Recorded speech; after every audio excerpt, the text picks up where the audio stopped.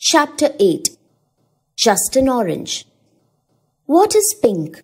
A rose is pink by the mountain's brink. What is red? A poppy is red in its barley bed. What is blue? The sky is blue where the clouds float through.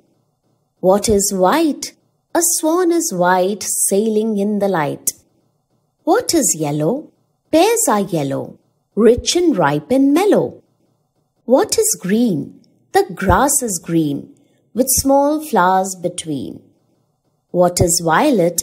Clouds are violet in the summer twilight. What is orange? Why an orange?